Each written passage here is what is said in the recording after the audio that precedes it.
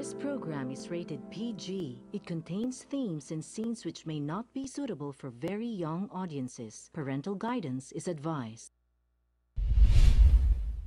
Be advised that the views and opinions of the hosts and guests do not reflect those of the station.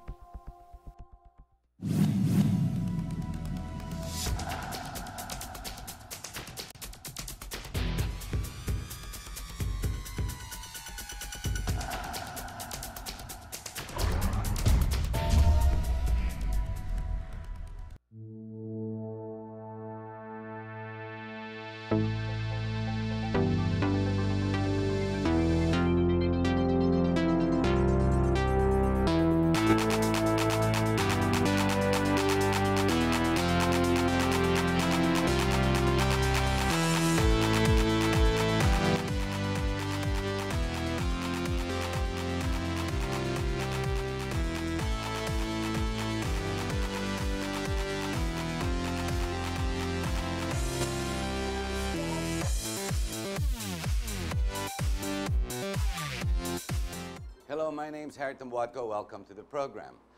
What do we know of federalism? Some many months ago, we started featuring all the different forms the government has put for people who are assigned towards federalism. On this program, we, we decided to feature at least four, if I'm not mistaken, four one hour solid shows all about federalism.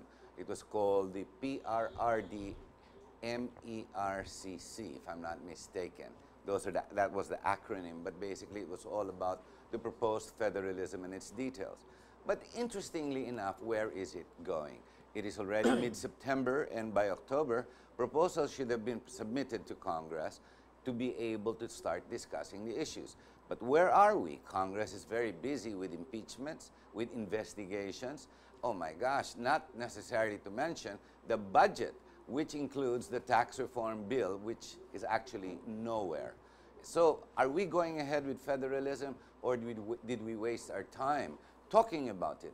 Interestingly enough, we have a president who is mostly very, very popular, who has the political will.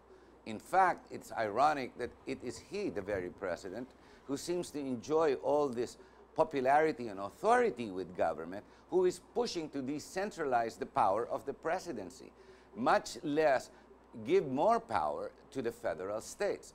Where exactly, other than discussing federalism, where exactly is it going? With us, we have the spokesperson of uh, the, the people in charge of federalism, the MR, MERCC. Is that correct? We have Bobby Brillantes. Hi, Bobby. Thank you very much for being here. thank you, Harry, and uh, salamat ulit Oh, pagkakataon. Bobby, Yes, MRRD. MRRD. MRRD, NECC, Yes. MRRD. Okay, we've got a problem. Saan ba talaga tayo sa federalism? Kasi ikaw, I know you, you've been putting all your time.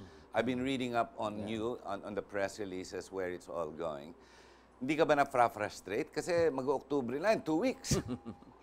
Hindi naman. In fact, uh, we're practically all over the country, uh, especially in uh, Visayas and Mindanao, because we get a lot of invitations To discuss the uh, issues. To discuss the issues up to the uh, almost remote areas, and uh, we are surprised about uh, the enthusiasm of the people in the provinces that uh, federalism is uh, being pursued by uh, organizations like uh, MRRD and ECC and other uh, Duterte support groups.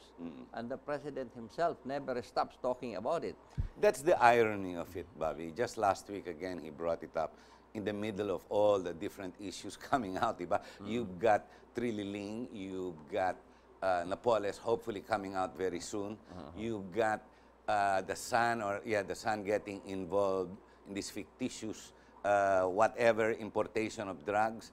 Um, ano nangyayari? Ba't ganun, ano? And yet, it's the president who says we have to go towards federalism. Hindi, ma hindi maayos ang Bangsamoro problem na yan sa Mindanao. And yet, where is that going? Parang, parang may resistance ang Congress. It, the enthusiasm from his cabinet seems to be left wanting, di ba? And all people designated to the many agencies and departments of government, parang tahimik lang sila dyan. Parang ayaw nila eh. Don't you feel the same thing? Uh, well, hindi naman. I think uh, they are busy in their respective areas of responsibility. But the most important thing is uh, the people are ready to, for a change. And uh, provincial and regional leaders are also prepared. And uh, the President continues to, to push. Ang medyo mabagal lang ay ang Kongreso. Uh, as a matter of fact, uh, despite the presidential pronouncements, even during the SONA, the leaders of Congress should have taken the cue. You're talking Alvarez, the Speaker of the Yeah, House. Yes, uh, the Senate President, Coco Pimentel, and uh, uh, Speaker uh, Pantaleon Alvarez should uh, take the cue that uh, for the President, this is an unwritten priority bill. So It was a promise during the elections. Yes, uh, as a matter of fact, uh, the Filipino people voted for Duterte because uh, he wanted change and he was talking about federalism. Before he even talked of corruption, you have to remember, and illegal drugs. Oh, while, we, yun eh. while we were still convincing him to run for president, Ah. he was going around talking about federalism and uh, second about corruption and the illegal drugs Yes. Federalism was uh, at the forefront of his advocacy. So, dapat our uh, congressional leaders should also bear this in mind that the mandate of the president was to establish change. Do you think the Speaker and Coco Pimentel are both doing this purposely? To deflect, to put in the back burner, so to speak? I, I know they didn't start the impeachment. Yeah, yeah. Our good friend Dante Jimenez did a lot of that. But in spite of all of that, parang deliberate eh. Hindi kaya? Hindi naman. I, I, I don't think so naman because uh, for one, the Senate President, uh, Coco Pimentel, is the, the leader and president of uh, PDP Laban. And the party, from the beginning, the advocacy of the Is PDP Laban federalism. is federalism. Nini Uh, Pimentel, the oo, father. I, was, I was part of the organizing uh, of the old uh, PDP Laban uh, during uh, martial law and the Marcos dictatorship. Federalism was already at the forefront of our advocacy. So I, I, I- don't think uh, Senate President Coco Pimentel would uh, Deliberately move it. Oo. Uh, in fact, probably hi- his uh, problem is convincing his fellow senators to to get enough uh, majority votes for the passage of this uh, bill. And for uh, Speaker Alvarez, he was made Secretary General of the PDP Laban because uh, of uh, the pursuit of federalism as a uh, medium of change for the Duterte administration. All of this uh, anti-corruption, anti-illegal drugs, under organization of government, Secondary lahat yun eh, no? Streamli- uh, streamlining of the uh, government bureaucracies will not happen unless we have federalism and a new setup of government. But at the rate it's going, Bobby, not to discourage you, but with multiple impeachments, uh, the budget to be tackled uh, as of to date, uh, even the uh, tax reform bill uh, is held in abeyance. Uh, it seems uh, the agenda, the plate is full of Congress until year end. I doubt that, because ang impeachment, gano'ng katagal yan, mahina six months dyan eh. And the attention Yeah. of the country is going to be into that. Yeah, and yeah, yeah. remember, um, the guy in the COMELEC refuses to resign, so mukhang matutuloy impeachment. And Sereno is going to fight it out, Yeah. or else he loses 18 years Yeah. of occupancy, di ba, as the Supreme Court uh, Chief Yeah. Justice. So mukhang lalaban yan. So ang mangyayari niyan, we will get bogged down. So the country is laid back because of two people who are undesirable, who are who is refuses to come down, and they're gonna take the time of our progress, di ba? Parang ganun eh. Yun ang base ko lang, ano? Yeah, that's why uh, in the MRRD NACC, uh, we are urging our uh, provincial leaders to put pressure upon the legislators because uh, sooner or later, these legislators will go back to elections.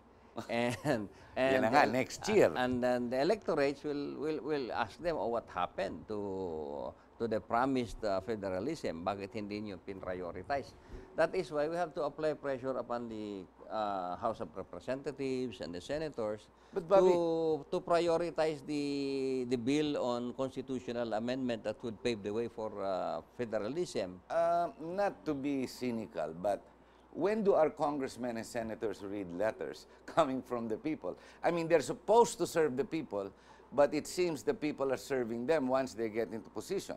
Yeah. Parang gano'n nangyayari. Kaya Alam mo, itong mga senador natin, tsaka mga congressman, na, nakikita mo, kanya-kanyang lakad, kanya-kanyang takipan. Yeah. You know, it's a brotherhood in the Senate.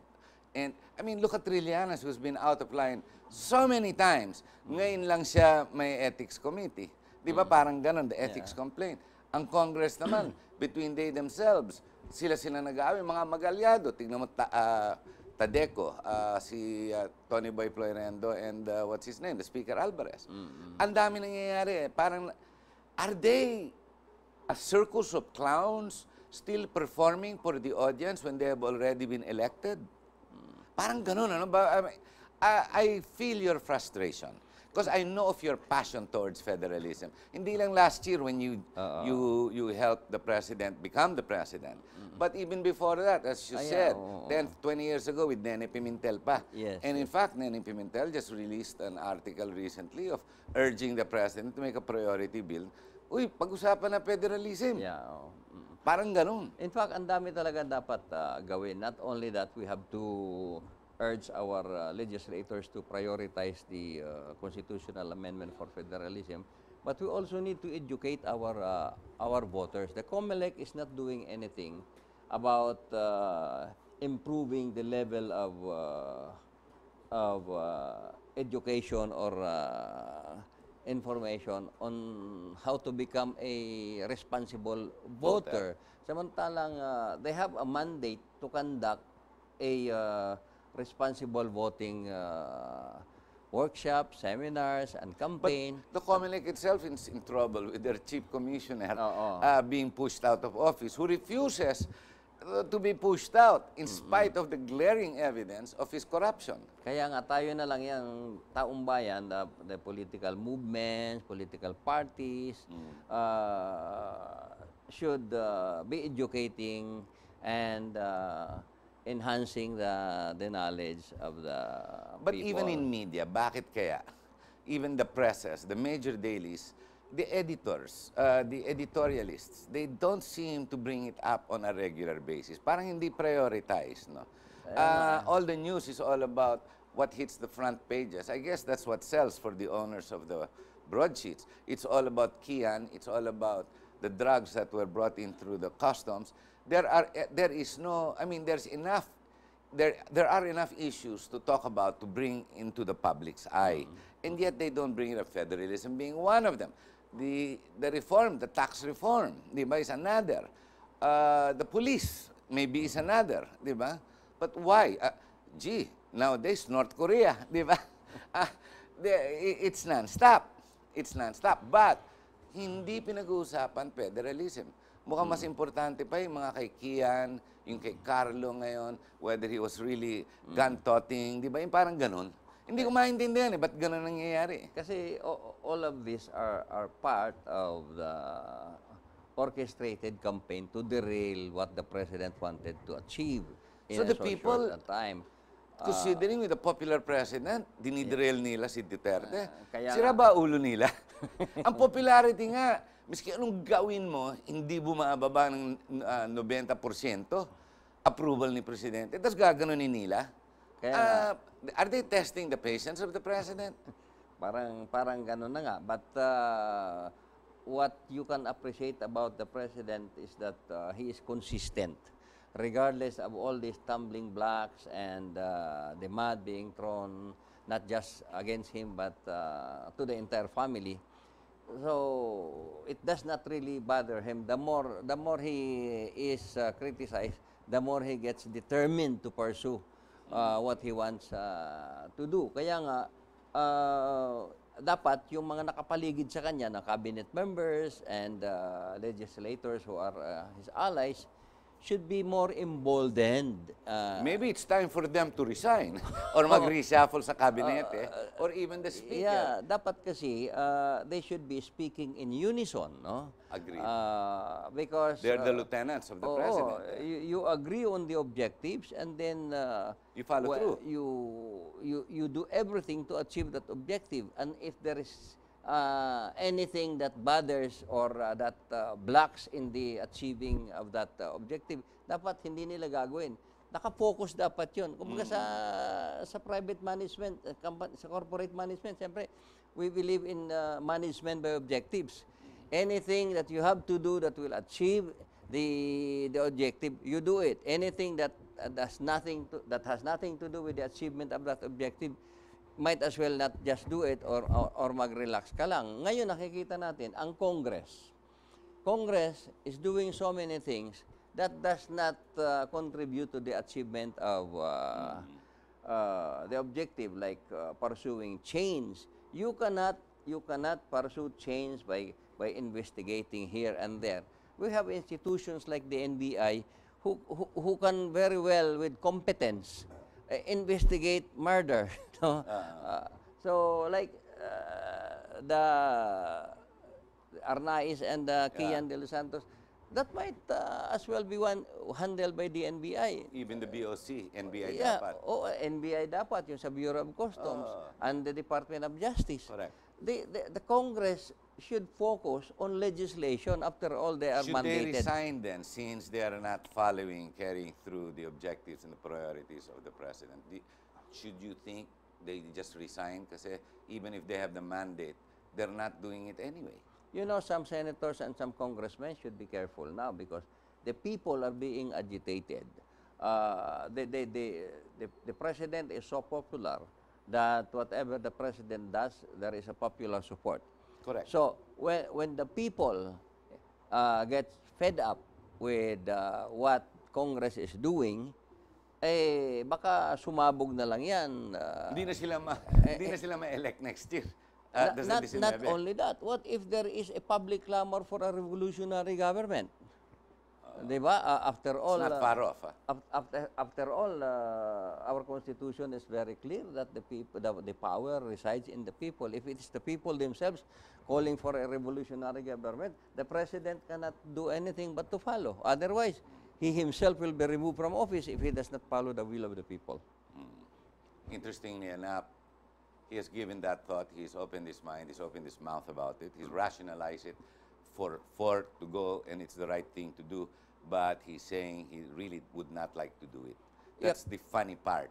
Kasi uh, the, the, the mandate of, of the people to him is to effect change. And uh, if uh, Congress is tying his hands to effect change, then the people might just rise and say, hey, kailangan namin kumilos na. Kung hindi nyo magawa yung pagbabago, kami na ang tutulong sa presidente bilang uh, kaagapay niya sa pagbabago. That's true. We're to have to take a short break, Bobby. Ladies and gentlemen, it's ironic again, if not if I'm being more cynical, where the power really rests with the people. The problem is those that they man, get given a mandate to, the local representatives, even the senators, who have no real constituency, that's the sad part, uh, are actually the ones blocking progress or what we call federalism. Now, there is, unless there's institutional change and in the system, there is no way you're going to resolve the fighting, the infighting in, in, in the now. I mean, if you want to let go of martial law, literally, and let go of all this shooting, killing, murder, and in, you know, almost like a civil war in Mindanao, the only effective uh, way, the only alternative would be a federal government allowing some type of uh, independent authority for the provinces. Um, when we come back, we'll discuss the other uh, initiated open mouth policies of some people. For example, Bongbong Marcos on his newest points on federalism. And of course, you've got the Trililings around there that who are against anything and everything that uh, the president will say anyway. So stay with us. We'll be right back.